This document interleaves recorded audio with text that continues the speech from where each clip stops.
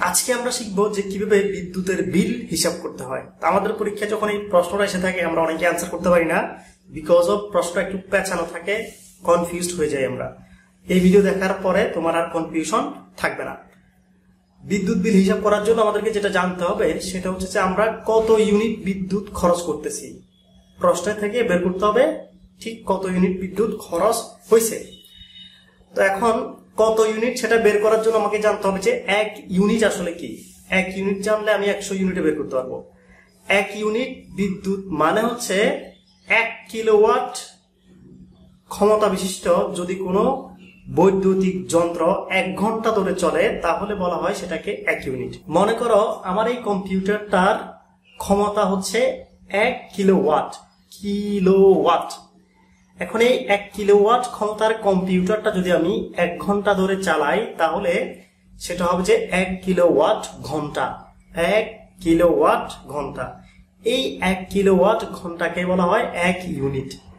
তাহলে এক কিলোওয়াট ক্ষমতার কোনো একটি বৈদ্যুতিক যন্ত্র যদি এক ঘণ্টা চালানো হয়, তাহলে ওই বৈদ্যুতিক যন্ত্র যে বিদ্যুৎ ব্যবহার করে সেটাকে বলা হয় এক ইউনিট এখন যদি এরকম দুইটা কম্পিউটার আমি চালাই, তাহলে দুই ইউনিট হবে। কারণ আমার এক ঘণ্টা ধরে আমি কি? দুইটা কম্পিউটার চালাইছি।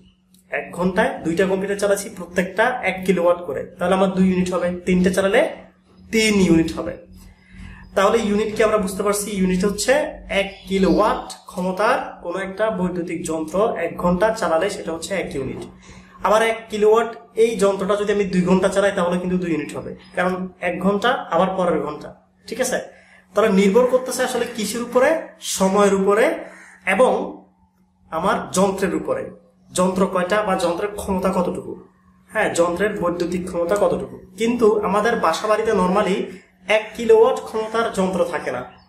এই কম্পিউটারটার ক্ষমতা আসলে কিন্তু এক কিলোওয়াট না এটা জাস্ট এমনিতে বলছি।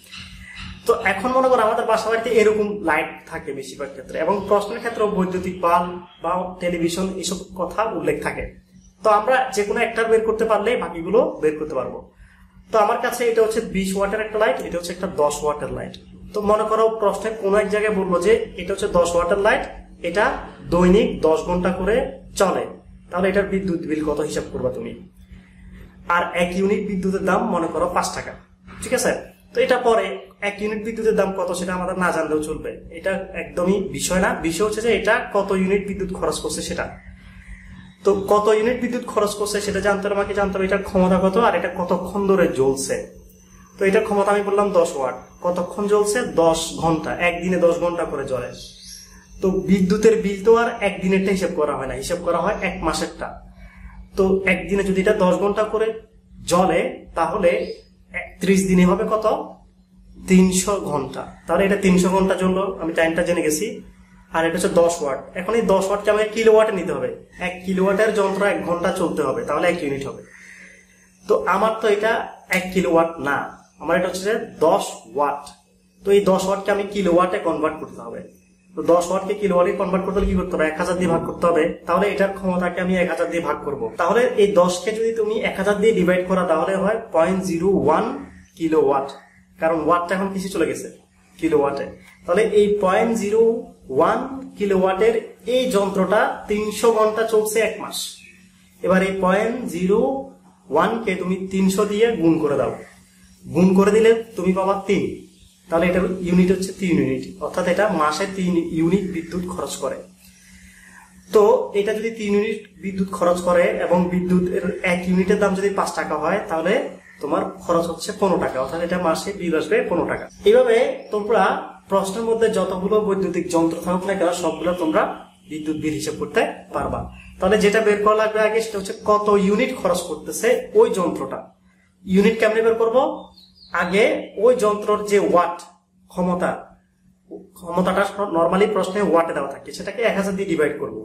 ডিভাইড করে দেখব যে এটা মাসে কত ঘণ্টা জ্বলছে ওই বিদ্যুতিক যন্ত্রটা। যত ঘণ্টা জ্বলছে, তত ঘণ্টা দিয়ে ওই কিলোওয়াটকে গুণ করে দিব। গুণ করার পরে যেটা পাবো সেটা হচ্ছে যে ওই যন্ত্রের জন্য ইউনিট এবার এই যত ইউনিট আমাদের হলো, সেটাকে এক ইউনিট বিদ্যুতের দাম যত তত দিয়ে গুণ করে দিব, গুণ করলে আমি এটার মোট যে বিদ্যুৎ বিল সেটা পেয়ে যাচ্ছি। এবার যদি তোমার বাসায় এরকম দশটা লাইট থাকে, প্রত্যেকটার জন্য আলাদাভাবে বের করো। এরকম যদি দশটা টিভি থাকে, দশটা টিভির জন্য বের করো। তাহলে এভাবে তুমি তোমার বাসার লাইট ফ্যান ফ্রিজ টিভি সবগুলো যন্ত্র কি করতে পারবা? বিদ্যুৎ বিল হিসাব করতে পারবা। ঠিক প্রশ্নও কিন্তু এভাবেই থাকে। ঠিক আছে? সো আশা করি তোমরা বুঝতে পারছ এবং এই অনুসারে যদি তুমি প্রশ্ন বুঝে বুঝে কাজ করো, তাহলে বিদ্যুৎ বিল হিসাব করা একদমই সহজ। ভিডিওটি ভালো লাগে থাকলে অবশ্যই চ্যানেলটি সাবস্ক্রাইব করো, ভিডিওতে লাইক দিতে পারো, বন্ধুদের সাথে শেয়ার করো। পরবর্তীতে আমরা অন্য কোনো টিউটোরিয়াল নিয়ে আসব। সেই পর্যন্ত সবাই ভালো থাকো। আল্লাহ হাফেজ, টাটা।